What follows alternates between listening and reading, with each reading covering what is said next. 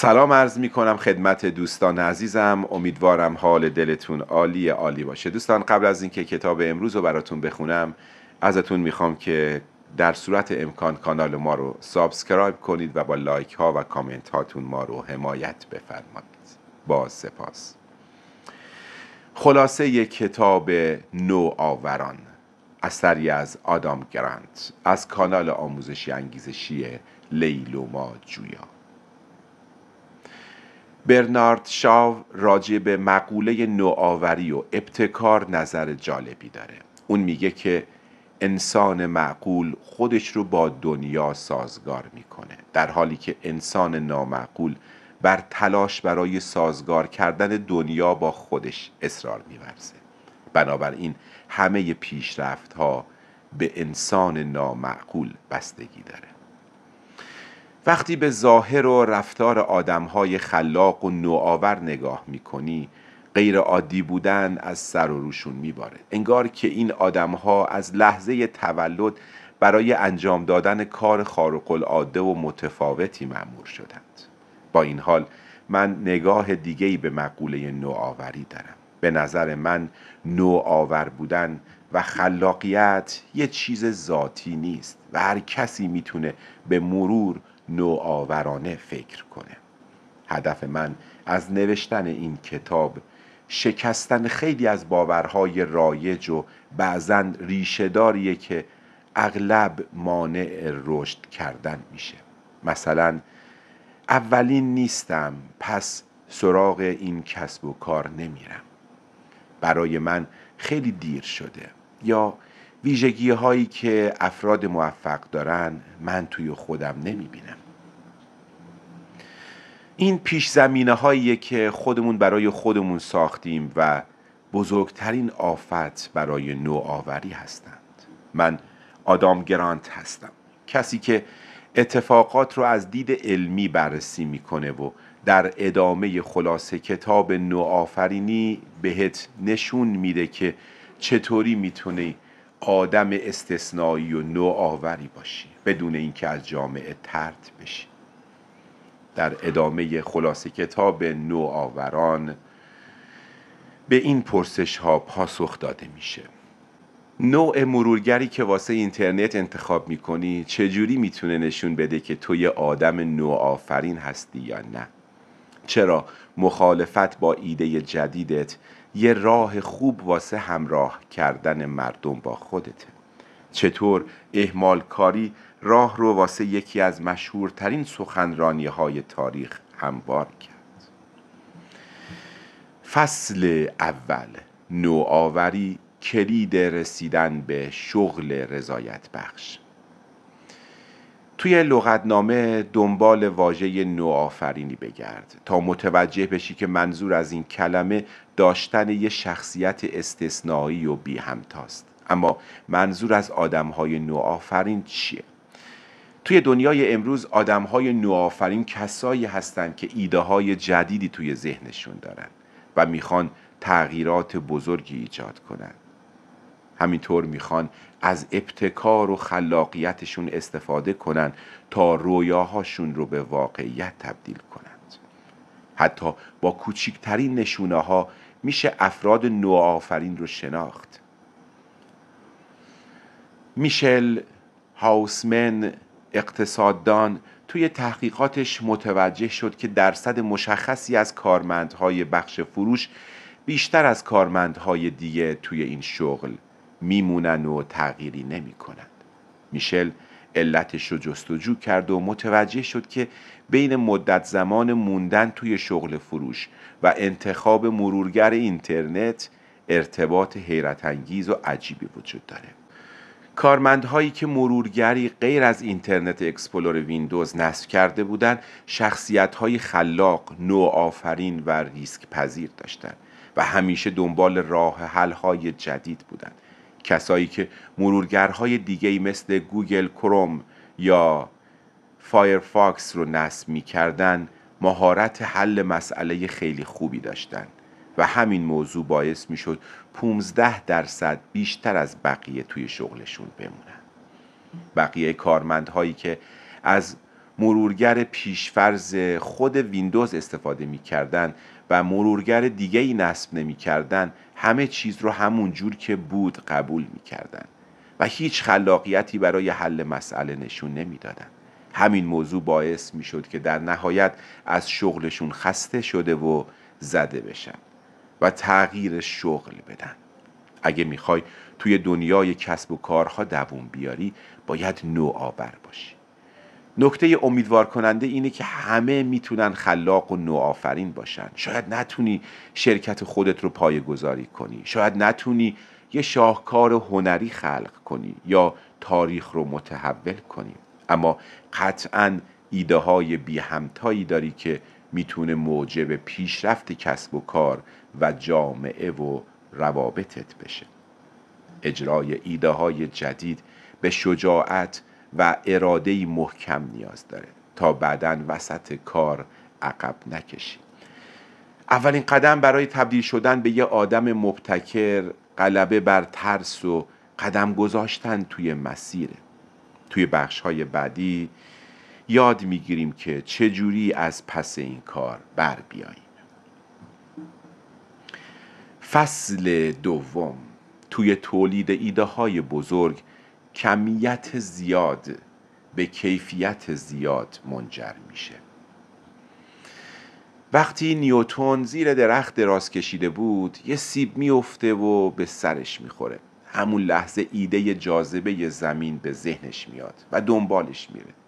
اما خبر بعد اینه که همه ایده های عالی اینجوری از آسمون به زمین نمیافتند چون که رسیدن به ایده های جدید نیازمند تلاش زیاده. توی تولید ایده های بزرگ کمیت مهمتره یا کیفیت؟ در واقع هر دو مهم هستند. مخصوصا کمیت. چون این کمیتی که کیفیت ایده پردازی ها رو افزایش میده. روانشناسی که به واسطه تحقیق در زمینه خلاقیت معروفه توی تحقیقاتش به این نتیجه رسید که افراد خیلی خلاق لزوما ایده های خیلی خوبی تولید نمی کنند بلکه فقط تعداد زیادی ایده تولید می کنند وقتی که تعداد و کمیت ایده پردازی ها زیاد بشه احتمال اینکه یکی دو تا ایده خیلی خوب از بین تمام ایده های دیگه سر در بیاره بیشتر میشه. برای مثال پیکاسو تعداد بیشماری اثر هنری 2800 تا اثر سفالی 1800 تا چهره نگاری 1200 تا مجسمه و بیشتر از دوازده هزار تا نقاشی داره. اما فقط تعداد انگشت شماری از این آثار باعث مشهور شدن پیکاسو شدند در واقع کمیت و کیفیت فقط کنار همدیگه معنا پیدا می و به تنهایی کاربردی ندارند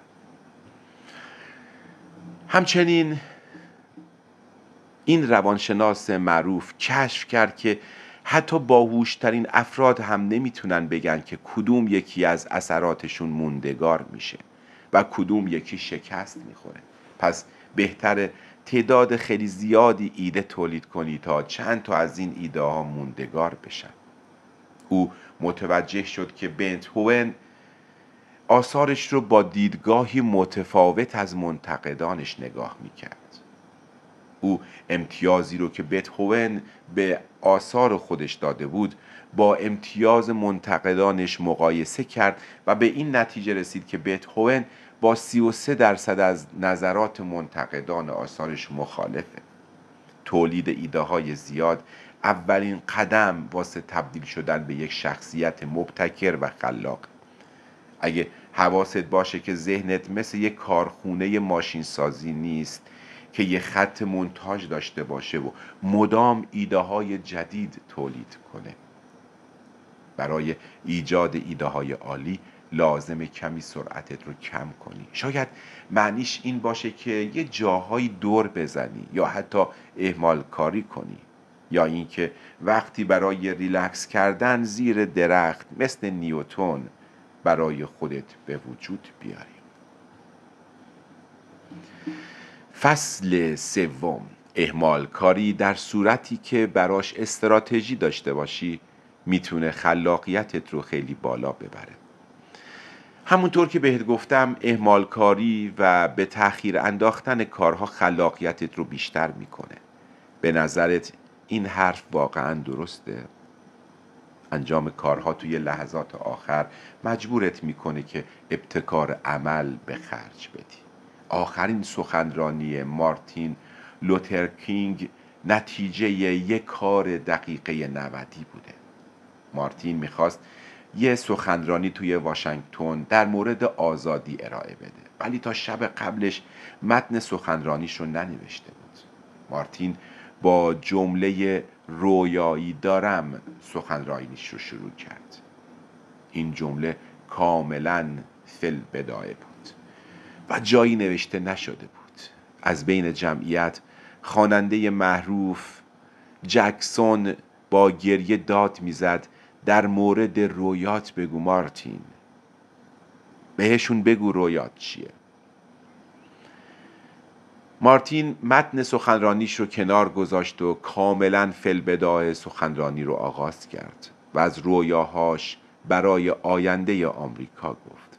سخنرانی مارتین مثالی بارز از اثر زیگارنیکه. اثر زیگارنیک پدیده که توسط بلوما زیگارنیک روانشناس روس کشف شده. این پدیده میگه که ذهن ما همیشه درگیر ایده ها و نگرش های جدیده. مخصوصا وقتی که کاری رو نیمه تموم انجام میدیم. به همین خاطر هم وقتی که کینگ متن سخنرانیش رو نیمه تموم نوشته بود ذهنش با ایده های درخشانی سر صحنه سخنرانی حاضر شد. برای آدم های مبتکر و خلاق انجام کارها توی دقایق آخر یه استراتژی کلیدیه. این کار باعث میشه که آروم آروم پیشرفت کنن و همچنین احتمالات و ایده های مختلفی رو در نظر داشته باشن. لئوناردو داوینچی یکی دیگه از افراد پرکار ولی اهمال کاره. داوینچی تابلوی معروف مونالیزای خودش رو توی سال 1503 شروع کرد. بعدش نیمه تموم رهاش کرد و در نهایت سال 1519 یعنی 19 سال بعد دوباره سراغش رفت و کاملش کرد. تاریخدان ویلیام پاناپاکر میگه داوینچی با نیمه تموم رها کردن مونالیزا کاملا حساب شده عمل کرد و توی این مدت مشغول بررسی و آزمایش فنون جدید نقاشی بود. بدون این بررسی و آزمایش و بدون این نیمه تموم رها کردن کار هیچ وقت تابلوی به اسم مونالیزا یا هر اثر دیگه ای از افراد خلاق به وجود نمی اومد. فصل چهارم اگه رو قبول کنی قوی تر میشی تا حالا برات اتفاق افتاده که واسه بهترین ایدت واکنش دلگرم کننده ای از اطرافیانت و بقیه آدم ها دریافت نکنی؟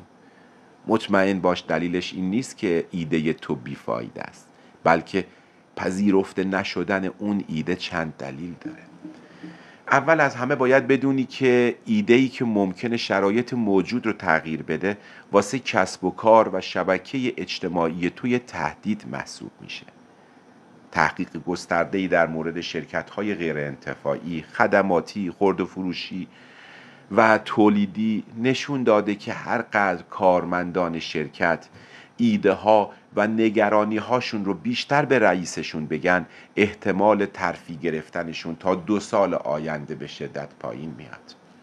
برای اینکه بقیه رو با ایده های خودت همراه کنی چیکار باید کرد؟ شاید واسط عجیب باشه اما بهترین کاری که می‌تونی انجام بدی اینی که نواقص و ایرادهای طرحت رو به بقیه بگی هرچند این کار باعث تعجبشون میشه. ولی بهشون ثابت می‌کنی که تو آدم صادق و رو راستی هستی. این دقیقا اتفاقی بود که واسه زوج کارآفرین رفوس گریسکوم و آلیسا والکمن پیش اومد. این زوج در حال سخنرانی در مورد مجله فرزند آوری و وبلاگشون برای طرفدارانشون بودن. گریسکوم صادقانه به هوادارانش گفت که نرخ تعامل وبسایت کمتر از حد انتظارشون بوده. همچنین چهل درصد از مطالب سایت با شایعاتی از سلبریتی ها پر شده و بخش های مختلف وبسایت هم به بروز رسانی های زیادی نیاز داره. شاید فکر می‌کنی که رفوس و آلیسا با این کار تیشه به ریشه خودشون زدن اما سرمایه گذارها شیفته صداقتشون شدن و بهشون اعتماد کردن. اونها تونستن بیشتر از سه میلیون دلار سرمایه جذب کنن. فصل پنجم پیدا کردن نقاط اشتراک و شبیه سازی با چیزهای دیگه باعث میشه ایدهات رو راحت تر قبول کنند. فکر می‌کنی توی آینه خوشگلتر به نظر می‌رسی یا توی یه عکس معمولی که ازت گرفته شده؟ خیلی هامون از تصویری که توی آینه هموم از خودمون می‌بینیم بیشتر خوشمون میاد. ممکنه عکس هامون برامون خجالت آور و ناخوشایند باشن. چرا این اتفاق میفته چون ما خودمون رو از زاویه ناآشنا و عجیب می‌بینیم. انسان همیشه چیزهای ناآشنا رو رد می‌کنه و نمیپذیره. حتی اگه عکس خودش باشه. همونطور که فکرش رو می‌کنی این ناآشنایی و غریبگی مانعی برای خلق ایده های جدیده. راه حل هایی وجود داره که می‌تونی ازشون استفاده کنی تا حتی سنتی ترین همکارانت ایده های جدیدت رو بپذیرن. یکی از این راه حل ها اصل آشناییه. باید بارها و بارها خودت رو بروز بدی و عقایدت رو واسه بقیه تکرار کنی تا آمادگی پذیرش ایده های جدیدت رو داشته باشن. تحقیقات نشون داده که آشنا کردن آدم ها با ایده های جدید و معرفی کردنشون به اونها به مرور زمان باعث میشه آروم آروم ایده های جدیدت رو قبول کنن. پس همیشه خودتو نشون بده و مدام ایدهات رو واسه بقیه تکرار کن. برای آسونتر کردن این کار ایدهات رو کوتاه و جذاب کن. سعی کن ایده ها رو با هم ترکیب کنی تا کاربردهای متفاوتشون رو نشون بدی و آمادگی لازم رو برای اجراه راه حل ها داشته باشی. اگه این راه حل رو اجرا کنی متوجه میشی که واکنش همکارات به ایده های تو چقدر بهتر شده.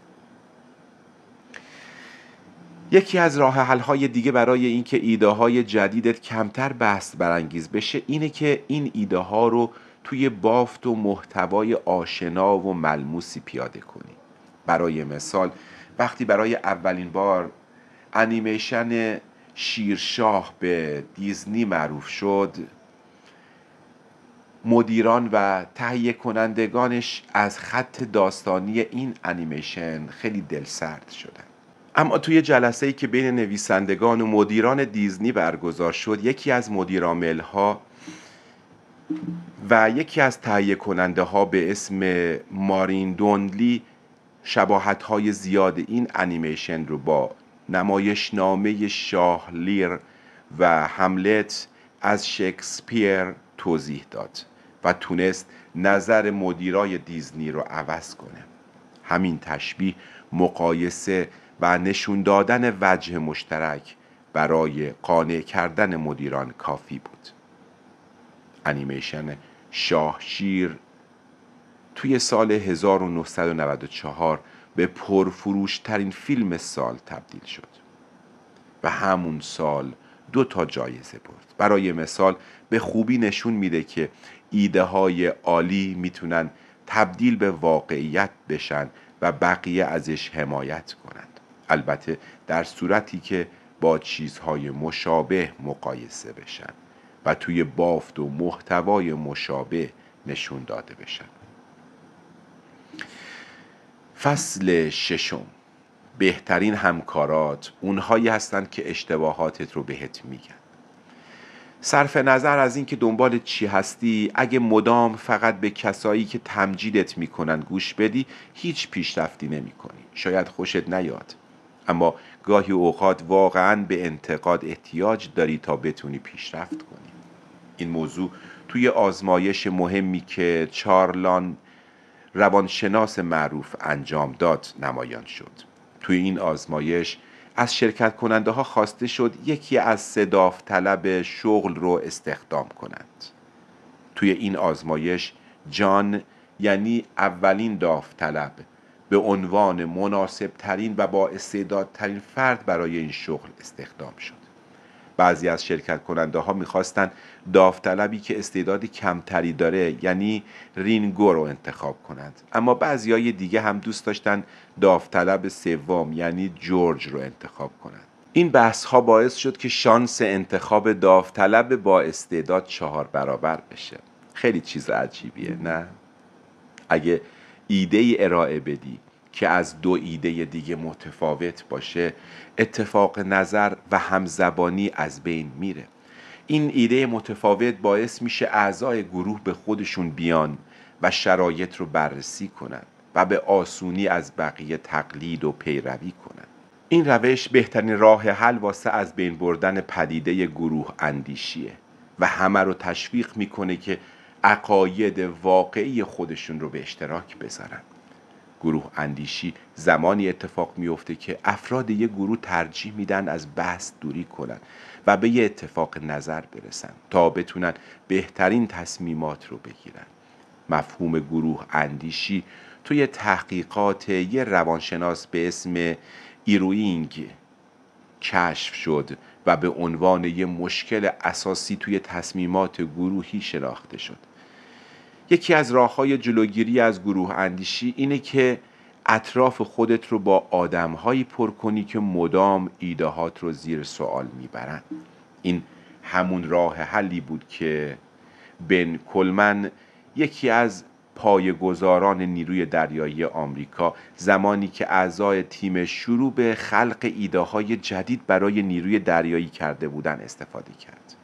این تیم موفق شد که راه حلهای خلاقانه مختلفی تولید کنه و حتی اولین تیمی بود که تونست چاپگرهای سبودی رو توی کشتی بیاره تا قطعات یدکی مورد نیازش رو روی آب تولید کنه بن کلمن کاری کرد که گروه اندیشی یا به اصطلاح گروه زدگی از بین بره و تیمی پویا تشکیل داد که مدام ایده های خلاقانه تولید می کردن. کلمن کارمندهای تازه کار رو برای جلسه های تیمی انتخاب کرد. این کارمندهای تازه کار به خوبی جلوی گروه زدگی رو می گرفتن چون محافظ کار نبودن و همه چیز رو زیر سوال می بردند اونا جسارت زیادی واسه ارائه ایده های خودشون داشتن.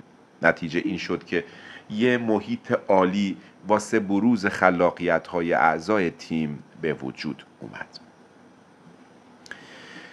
فصل هفتم پنهان کردن ایده اصلی برای جذب حمایتگرها. شاید با آدمهایی در ارتباط باشی که هدف و ارزش هاشون باهات یکی باشه ولی این تضمین نمی‌کنه که از ایده های تو حمایت کنند. اگه متحدینی می‌خوای که بتونی به راحتی روشون حساب کنی باید با لحن خوبی باهاشون حرف بزنی رو راست باشی.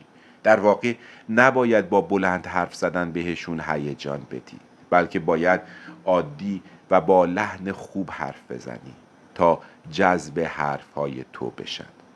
شاید خیلی فکر می‌کنی که داشتن اهداف مشترک می‌تونه اعضای یه تیم رو کنار هم جمع کنه اما تحقیقات نشون داده که اینطور نیست. دو روانشناس دانشگاه دارتموث به اسمهای جودیس وایت و آلن لنگر با استفاده از تئوری خصومت به این نتیجه رسیدند. این حالت نوعی از خصومته که بین اعضای یک گروه پیش میاد. مثلا فداکارترین اعضای یک گروه رادیکال سیاسی به جای اینکه دشمنان و آدم فروش ها رو هدف قرار بدن بیشتر تمایل دارند به همگروهی های خودشون که ارزش های مشترکی با اونها دارن حمله کنند. با ایجاد ایده هایی که کمتر افراطی به نظر می‌رسه می‌تونی از این خصومت جلوگیری کنی. برای این کار به پنهونکاری یا چیزی شبیه اسب تروا نیاز داریم به هر حال هدف نهایی این نیست که افراد رو قانع کنیم تا نگرششون رو تغییر بدن. بلکه هدف اینه که به ارزش هایی که از قبل باور دارن متصل بشن. مخترع شارژ بیسیم وسایل برقی وقتی برای اولین بار ایدش رو به استادانش و بقیه مهندسانشون داد کمتر کسی حمایتش کرد. همه مخالفینش باور داشتند که امکان نداره وسایل برقی رو بشه با استفاده از امواج شارژ کرد. او واسه حل این مشکل از استراتژی اسب تروا استفاده کرد. او ایده اصلیش رو پنهان کرد و به مردم گفت که فقط می‌خواد یه مبدل طراحی کنه و نه یه شارژر بیسیم با این کلک تونست حمایت های زیادی از آدم های مختلف دریافت کنه. ایدش خیلی رویایی بود ولی نشدنی بود. همکاران و سرمایه گذاران زیادی به سمت ایده او جذب شدن و باهاش یه تیم تشکیل دادن. اینجوری شد که او تونست محصول و شرکت خودش به اسم یوبیم رو پایگذاری کنه. امروز این شرکت شارژرهای بیسیم مدرنی رو تولید می‌کنه. همونطور که دیدی فقط داشتن یه ایده عالی کافی نیست بلکه باید یاد بگیری حامیان خوبی رو به سمت خودت جذب کنی تا ایدت تبدیل به واقعیت بشه. سخن پایانی. خلاصه کتاب نوآوران می‌خواست این رو بهمون به بگه که ایده های زیادی تولید کن و بهترینش رو با بقیه به اشتراک بذار. این کار باعث میشه قدرت خلاقیت تقویت بشه. برای تقویت خلاقیت اطرافت رو از آدمهای خلاق پر کن و بهشون اجازه بده که به راحتی ایده هاشون رو باهات به اشتراک بذارن. ایده رو شبیه سازی دست یافتنی و جذاب کن تا بتونی حمایت بقیه رو به خودت جذب کنی. بقیهش دیگه آماده ای تا طرحهای بی همتای خودت رو به واقعیت تبدیل کنی. امیدوارم که از شنیدن این خلاصه کتاب نهایت لذت رو برده باشین. همه شما عزیزان رو به خدای بزرگ میسپارم. با سپاس علی رضا میر هستم از کانال آموزشی انگیزشی لیل و ما جویا. کتاب های صوتی از کانال لیل و ما جویا. با خواندن و هدیه دادن کتاب آگاهی و دانش را گسترش دهیم.